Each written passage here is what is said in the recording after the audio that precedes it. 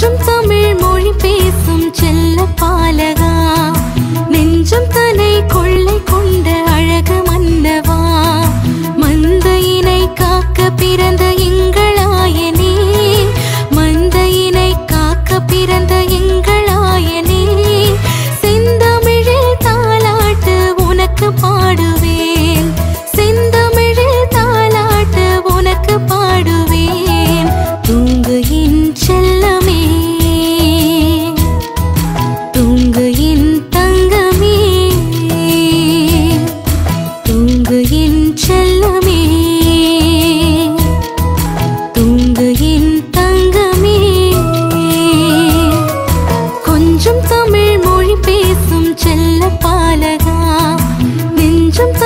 கொள்ளை கொண்ட